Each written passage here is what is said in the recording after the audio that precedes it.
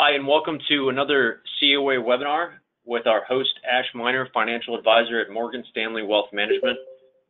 This is in a series of COA webinars sponsored by Morgan Stanley and providing a range of financial education to members of the association. Contact information for Mr. Ash Minor is available, as you can see in this webinar. Uh, we will also be pushing this out to association members uh, and posting information in future issues of Frontline. If you have questions for Mr. Ash Minor uh, during this webinar, you can post those questions in the chat section of the GoToMeeting platform. So that should be on the right-hand side of your uh, of your screens or, or, devices. If you have a question, you can send that directly to the group, uh, and we can ask the question later. Or if you want to, you can send it directly to myself or to uh, Ash Minor. So at this time, I wanted to turn this over to Mr. Ash Minor, Financial Advisor of Morgan Stanley Wealth Management who has a, uh, a family connection to the Commission Corps of the U.S. Public Health Service, his father being a retired pharmacist, and has grown up around the PHS family, and now has a lot of tips and tools for uh, members of the association, especially the junior officers who are out there, to think about how to build wealth to live the life that you love. Mr. Ash Minor, floor is yours. John, thank you so much for that introduction, and thank you also to the COA for allowing me and Morgan Stanley to partner with you over the years. Uh, for those that were dialed in last week for this webinar, I want to apologize. There was a technical issue on my end that prevented me from connecting as presenter. I recognize uh, many may have uh, altered their schedules to make time for this webinar, and I do want to apologize for any inconvenience that caused you.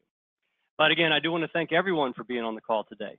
I know your time is valuable. And uh, over the next 25 minutes or so, I hope to leave you maybe a little better informed, just to give you some things to think about and maybe help you avoid a mistake or two, to shore up your financial plan, and to leave you in a better place as you go forward. It's always a pleasure to engage with uh, PHS officers across the country. After all you are doing to advance the health and safety of our nation, not to mention my own uh, family ties to the Corps, which John touched on, it is a great honor and privilege for me to have this opportunity to help educate and better prepare you as you look ahead to other important chapters of your life and that of your loved ones. To the extent that those chapters involve personal finances, my team and I, based in Charlotte, North Carolina, are well equipped with a process and resources to provide customized advice and planning strategies to work to maximize your outcomes over the long term. And to that end, I focus my practice on helping officers take thoughtful action in the near term to solidify their financial lives over the long term, to help define realistic goals and, and chart a course to bringing those goals to reality, and to have peace of mind in knowing that you've, you've taken wise financial planning actions, or you at least know what those actions are so that you can execute on them in due time. Uh, on this first page here, please do make note of my website, uh, bookmark it, and, and take some time to look around there that's some of the content that I've posted. There's a lot of good information on there that's updated regularly. Uh, also, my email and phone number. I invite each of you to reach out to schedule a private conversation if there's something on your mind or if the content I go over today strikes a chord as something you'd like to explore deeper as it pertains to your unique situation. And also, if you'd like to go onto my monthly uh, e-newsletter distribution, it's called Investor Insights. This is just a collection of current articles, educational pieces, and topics of interest relevant to financial planning and a variety of life events. Please send me an email and I can add you to that distribution. Uh, finally, I do recognize many of you handle your own financial planning and or may already be working with an advisor or a financial services firm. Frankly, I commend you if you are. Uh, but please, please consider us a source of information and general guidance and if you're interested in learning more about how my team here at Morgan Stanley could help you specifically, just please know we're here to help. Uh, though there are Morgan Stanley branches in every U.S. state, my team and I work directly with officers all over the country. So we're here and we're able to help you personally no matter where you're stationed. Um, as John said, just out of respect for your time, I just want to move through the presentation and take questions at the end. So be sure to jot those down to ask at the end or uh, use that chat feature on the side of your screen. So today we're going to talk about some of the key issues associated with establishing an independent financial life and mapping out your financial future. Each of you on this call is unique, and different people will have different needs at different times. So we're going to cover a pretty wide range of topics, but I'm not going to go too deeply into any one. Uh, again, if you want to uh, talk on these in more detail uh, or take a closer look at how they uh, impact you specifically, just let me know that. I do want to make a special note here that some elements of this presentation were designed specifically around the planning needs of millennials, those among us born between 1981 and 1996. These are folks that are ages 22 to 37 today. Um, no matter when you were born, though, it's a good idea to periodically review and get a refresher on the fundamentals of sound financial planning as you go along in life. I imagine there's some on this call that have kids old enough to fall into that millennial age group, and I'm sure you will be able to uh, reflect back on your own personal experience uh, with some of the subject matter and the historical events that I'm going to touch on in the next few minutes. By the way, if you do have kids in that age group, or you know someone who might find this info useful and pertinent at this stage in their life, please encourage them to listen to the replay. It's going to be available on YouTube. And just by the way, a quick uh, recap, the webinars we've done thus far in the last several months include uh, retirement income planning, fundamentals of investing, and raising money savvy kids. Those are all archived there. All right, let's get moving. All right, so very likely you may be taking a different path through life than the generations that came before you. You grew up with technology and the internet. Many of you experienced 9-11 and two economic and market downturns during your formative or early professional years. Many of you may be dealing with unprecedented amounts of student debt uh, and, and waiting longer to get married.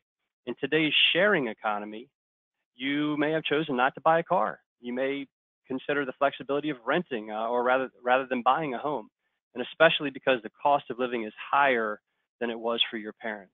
All of this may contribute to a delay in reaching the traditional life milestones that typically trigger thoughts of financial planning.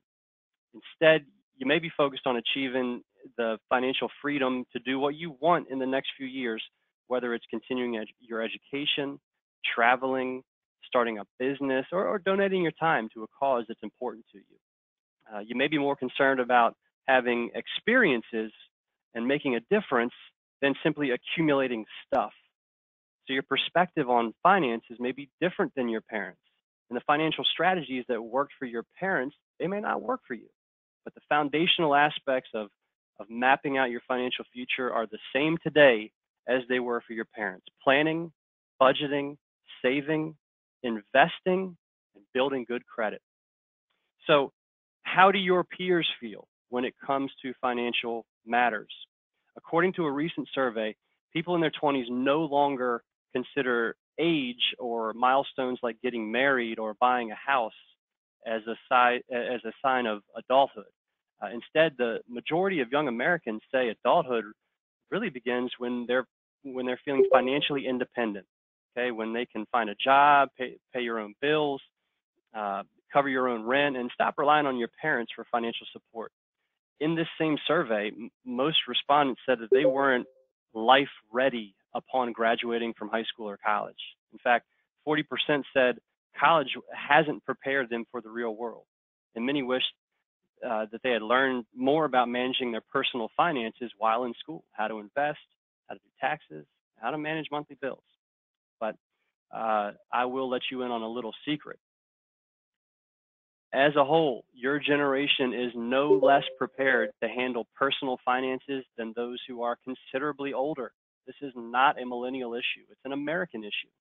In fact, your generation may be a step ahead of the game. 77% of millennials consider themselves to be good savers. And nearly a third of Americans age 18 to 34 are saving at least 10% of their annual income for retirement. And the fact that you're here today, it's a great step in the right direction. So today we're going to discuss some of the issues you may be thinking about as you get ready to move out of your parents' household and establish your own financial freedom. We're going to focus on three key stages of your financial life planning, creating wealth, and gaining leverage. First, we'll look we'll take a look at the initial planning like defining goals, not just specific financial objectives, but deciding what the kind, what kind of future you really want. Also creating a budget so you can begin to look at your financial life in a more deliberate and purposeful way. Next, we'll talk about this about savings and investment strategies that can help you accumulate wealth over time, including the importance of saving and some strategies and accounts that will help you save successfully, and the basics of investing, uh, including uh, formulating an investment strategy with a focus on asset allocation. And third, we'll discuss how to increase your capacity to borrow and to use credit wisely by establishing credit, which will ultimately give you the financial flexibility to pursue many of your goals.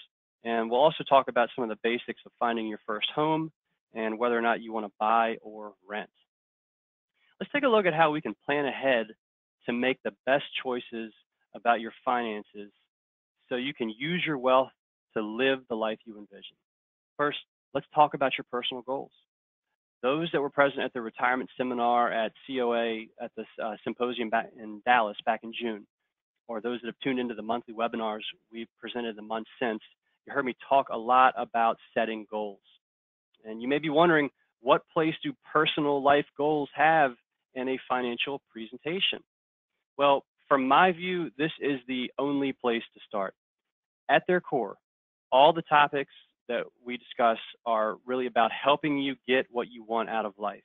And that can be pretty tough if you haven't given some serious thought to your greater life goals. Defining these goals as specifically as possible helps you begin to establish priorities. Once you have priorities, you can start thinking about what kinds of trade-offs you're willing to make to achieve your version of success on your own terms. Do you want to buy a house? You want to pay your way through medical school?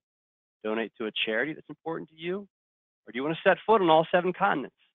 These are all achievable goals, but unless you have substantial wealth at your disposal, you may have to focus on one or two first. Uh, while making these decisions, you're going to want to think about what you want your life path to look like. At some point, you may have to choose one goal over another. Is it worth delaying homeownership to finance a trip to Antarctica? That's something only you can decide, and only if you've really thought through what's important to you. Once you understand what you want, you can start using the available tools to get there. So let's take a look at an, an example just to get things started. So we've got two hypothetical, a hypothetical couple here, Sarah and Michael. Sarah just finished law school. She found a job as an associate, and Michael has a job in sales. They're recently engaged, and Sarah has just moved into Michael's small one-bedroom apartment. And let's give them some goals. So their short-term goals over the next year or two are to help pay for the cost of their uh, upcoming wedding uh, and honeymoon, uh, buy or lease a more reliable car than Michael's old uh, old junker, and then also support their local food bank at some level. Intermediate goals over the next three to five years uh, would include move to a larger rental, or maybe buy a home of their own, start a family, uh, and make a big dent in their student loans. And let's say that their longer term goals are to start their own business, support their kids through college with minimal debt, and support a comfortable retirement. Now, all of these things are important to Michael and Sarah, but let's make some decisions about what is most important. Let's say their number one short term goal is paying for the wedding. Uh, the top midterm goal is starting a family, followed very closely by a larger space for that family. And then the top long term goal is to retire comfortably with a strong preference for retiring from their own business. Course, it's going to be pretty hard to achieve any of your longer uh, term financial goals if you haven't been able to save a few dollars uh, to open an account or to invest. That leads us to the second stage of mapping out a, a path to financial freedom, setting a budget. So while living on a budget may sound like it limits your options, it doesn't have to be that way the process of setting a budget requires you to set priorities. So a budget is actually a valuable tool for helping you get the things you really want by showing you what it will take to get there. So this slide gives an overview of the basic steps of the budgeting process. I have a very useful uh, budgeting template, by the way, that I'm happy to share. Just send me an email, and I'll be happy to share it with you. But let me elaborate on a few of these steps. So, so step one is calculating your income. What I want you to do is add up all the income you receive on a regular basis from all sources on a pre-tax basis. In addition to your, your salary, any bonuses, these may include regular gifts, investment income, freelance income, anything like that. Step two, I want you to track your current expenses.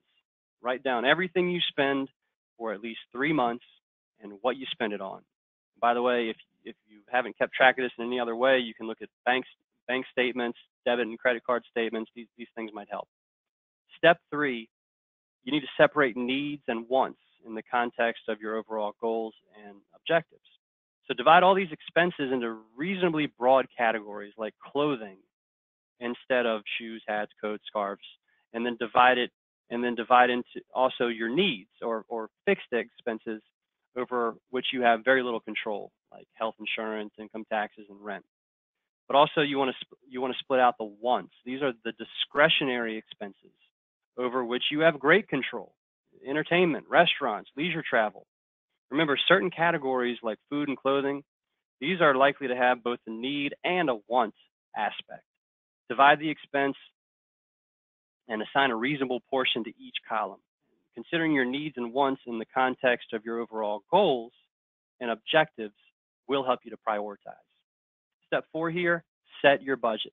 If you're lucky, your expenses already fall short of your income with enough left over to support your longer term savings needs. If not, you need to make some adjustments.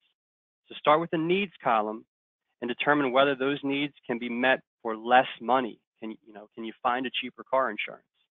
Uh, do you need to think about getting a roommate? Also, determine your priorities within your discretionary spending. Would you trade dining out less, uh, less often, for keeping your summer, uh, uh you know, place at the beach? And then replace the spending numbers with target numbers reflecting your new priorities. Finally, step five, stick with it. Monitor your results and adjust if necessary. Track your actual expenses against the budget that you've set for yourself try to stay within your targets, but also use the first few months just to monitor your, your results and reconsider the priorities that you have. And remember, your budget may change as your financial circumstances or priorities change. You have to be flexible. All right, so you've all heard that it takes money to make money. To me, that means that you need to save money if you want to create long-term wealth. Uh, now that we've set a budget, that's going to allow us to save a little money, let's take a look at, let's, let's take a deeper dive, if you will, into successful saving. So we'll talk about why it's important to save at every point in your life, strategies that will make savings easier, why saving a little bit now is better than saving a whole lot later, and what kinds of accounts you need to establish to manage different parts of your financial life. So to put things in perspective, here are some interesting stats from recent research on financial wellness. Only 42% of people employed full time are confident they'll be able to retire when they would like to. 66 million Americans have no emergency savings at all. And half of full time employees said that not having enough emergency savings was one of their top financial concerns. So let's cut to the chase. If you want to achieve and protect your financial freedom now and in the future, it's important to develop the habit of saving early, automatically, and often. So here are some of the ways you can find extra money to put towards your savings. Probably heard a lot of these before. Pay yourself first. This means transferring a portion of your salary to your savings first before you start to take care of your other optional expenses. Uh, strategies like participating in the TSP plan or a healthcare savings plan are a great way to do that. Also, trim spending by changing your habits. Now, we all have regular habits, like buying, uh, you know, a coffee on the way to work or going out to lunch, uh, probably that we could cut back on in order to save some more money. This budgeting exercise, it's, we just spoke about this, and it should, it should help you to do that.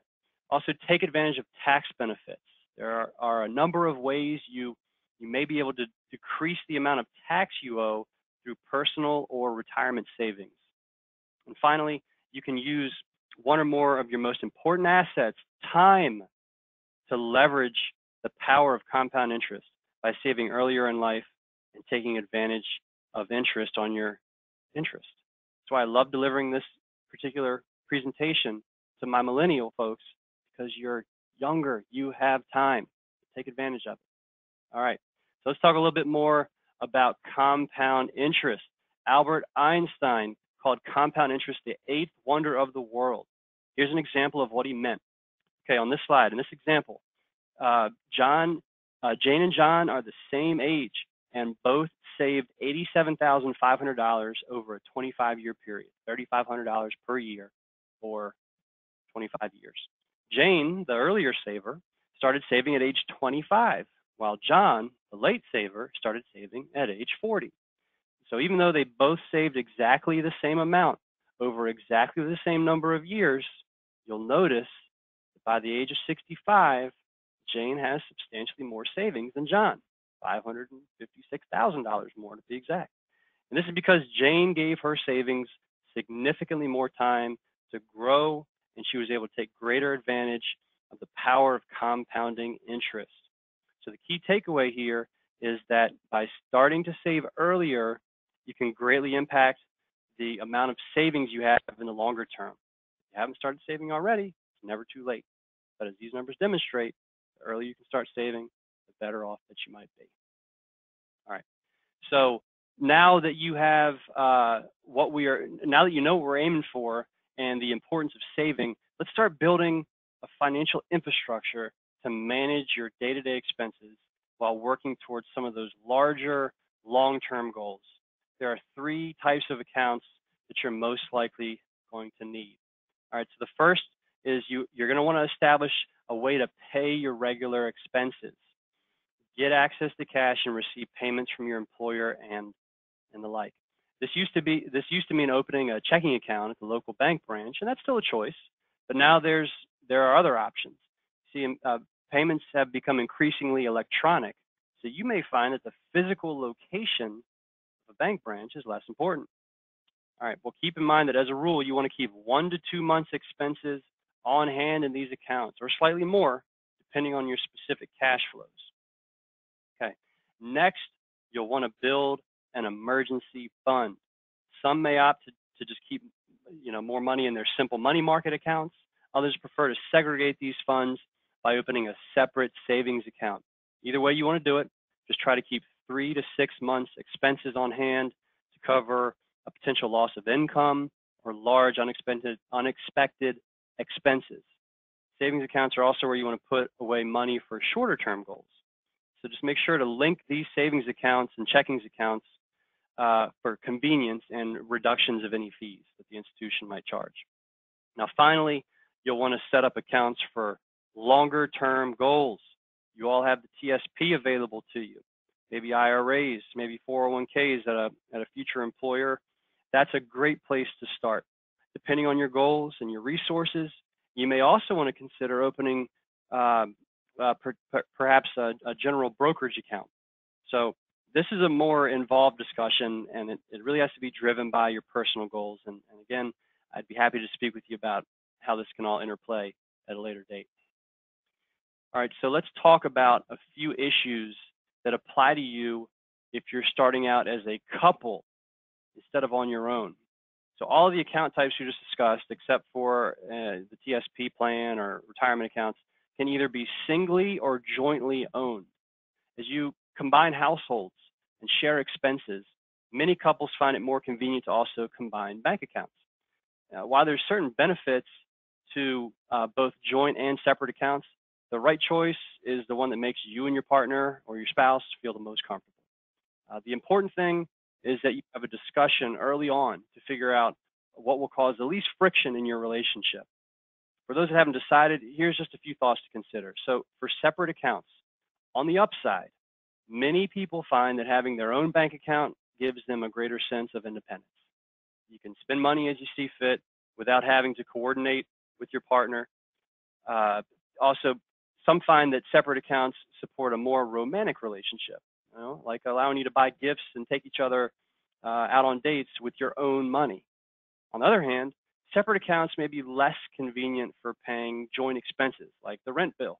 Some couples also find it awkward to keep a running tally of who owes what. There may even be a conflict over what constitutes a joint expense and what doesn't. These might be good issues to discuss in a joint version of the budgeting exercise that we discussed earlier.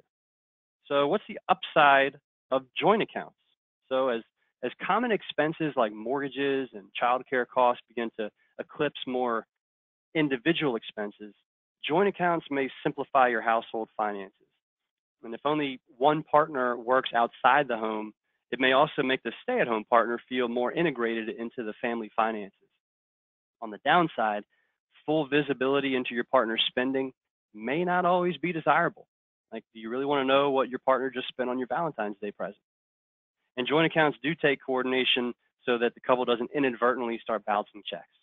Okay. Of course, if you, uh, if you aren't sur- sure which route is right for you, just do both. You can set up a joint account for your shared expenses and keep individual accounts for individual expenses. So now that we've that we've saved a little money to work with, let's turn our attention to those longer term wealth goals and the investment strategies that you'll likely need to address them.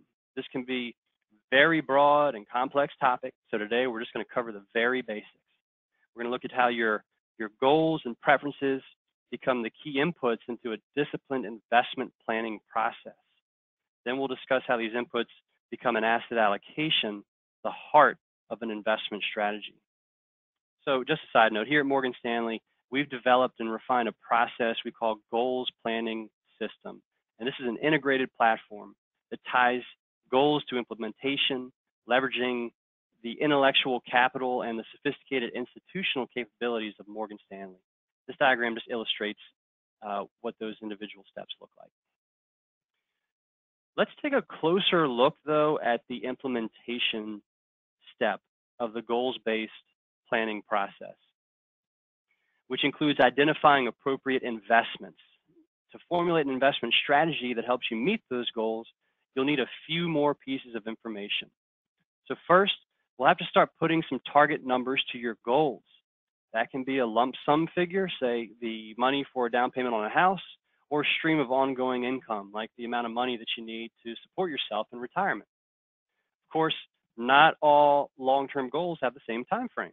So the next step is determine is to determine when you need the money. Finally, you need to understand your own comfort with risk. Are you going to be up all night worrying about every time the stock market has a bad day? Or can you live with a little more volatility in hopes of higher long-term returns? So those are the inputs we believe that the first output should be an asset allocation. So asset allocation, this is a given mix of different asset classes, usually starting with stocks, bonds, cash, and, in something like a, uh, or like things like money market accounts. Uh, it can also include real estate, things like commodities, hedge funds, basically anything else that has recognized value. So why would we want to include different asset classes? Well, it's because different asset classes tend to behave differently under different market conditions. The goal is to find the mix of investments that has the right risk and, re and reward characteristics for your goals, timeframes, and risk tolerance. And studies show that it's really important. As you see here at the bottom, over 90% of a portfolio's return is attributable to asset allocation. All right. So far, we've spoken about how to set goals, save some money, and invest it for the long term. But now I want to turn uh, our attention to how to use other people's money to reach your goals. So we're going to talk about improving your ability to borrow or your credit score. As we'll see, lenders are only one of the groups who might want to know about your credit worthiness. We're also going to go over how credit scores are determined and how you can raise yours.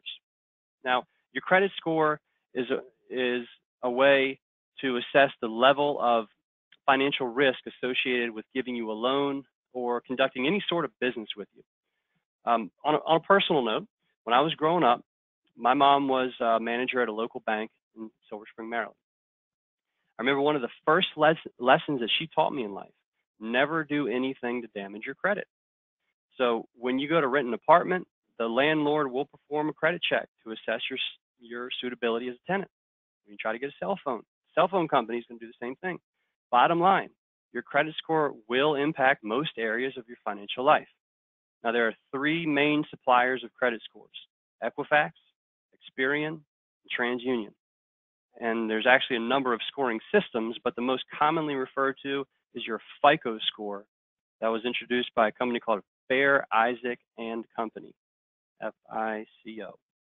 Okay, so what are we looking for here? As you can see on the chart, 660 or better, preferably over 700.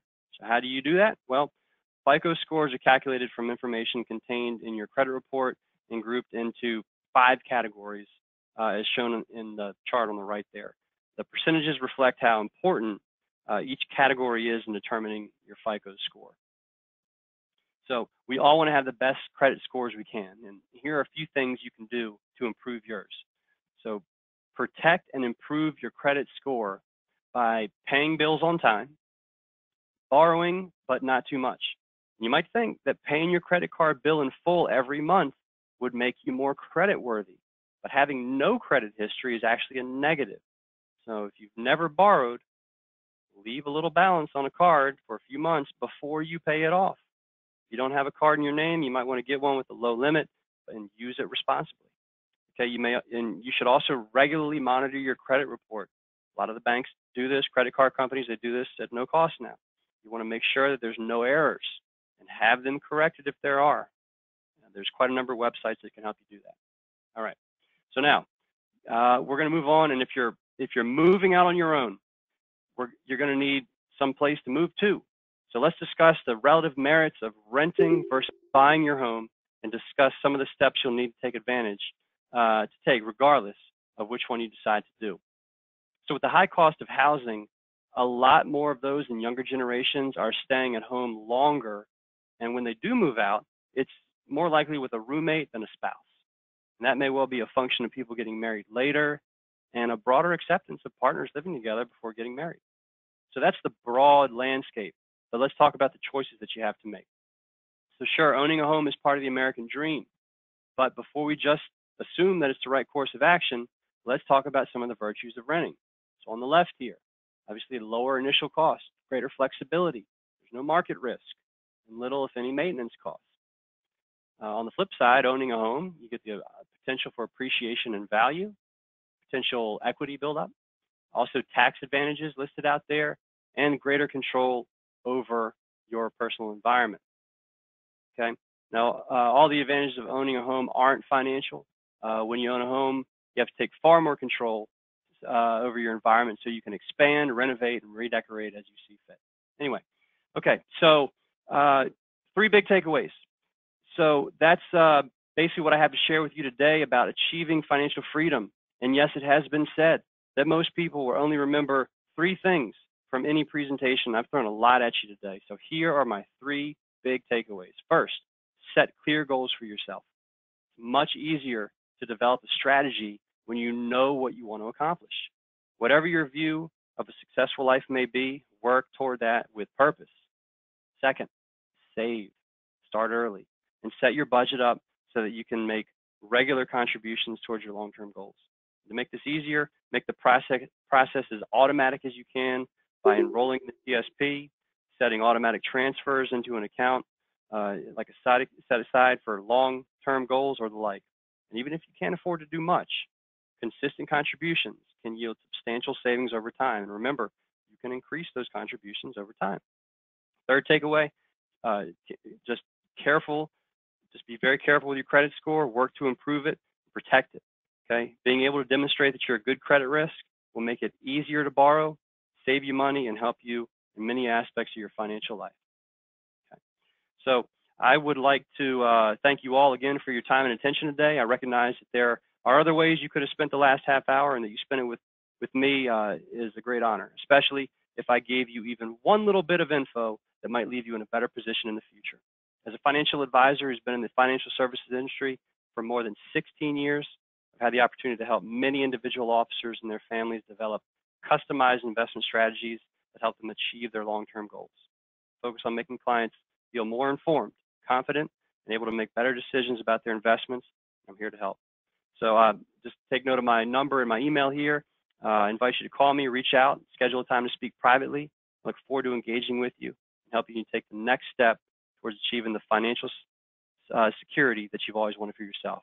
And now, John, we have a couple minutes for questions, happy to take some. Ash, thank you very much for the presentation. I know that for the active duty officers, with their security clearances, protecting the credit score is not only good for them uh, personally, for the family financially, but for their jobs, as security clearances will uh, take a closer look at credit scores and financial um, risk as part of their security clearance process going forward. Um, I wanted to ask you a question about behavior, behavior change, and the idea of, you know, the, the cost of a cup of coffee or um, money that that you know small changes you can make every day that will lead to compounded interest and help people get a little bit closer to some of these goals. What do you tell some of your clients? It all starts with budgeting and starts with a cash flow analysis. It's hard to do. Sometimes the truth hurts.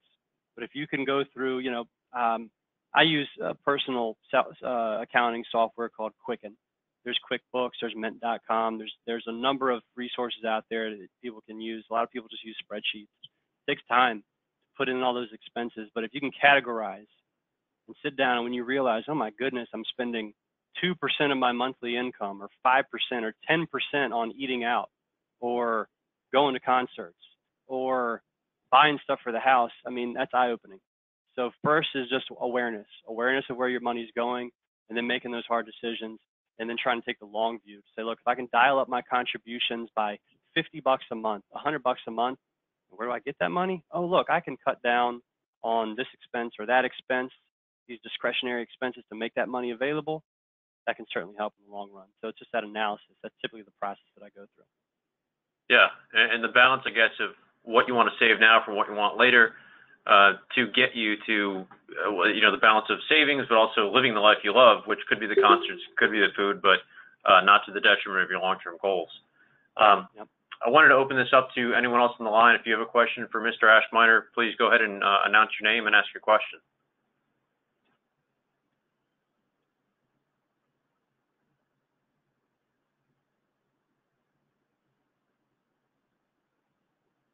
All right. Hearing none, I want to thank Mr. Ash Minor, Financial Advisor at Morgan Stanley Wealth Management, for your time. Thank you very much for being on another COA webinar for our members. Okay, thanks everyone.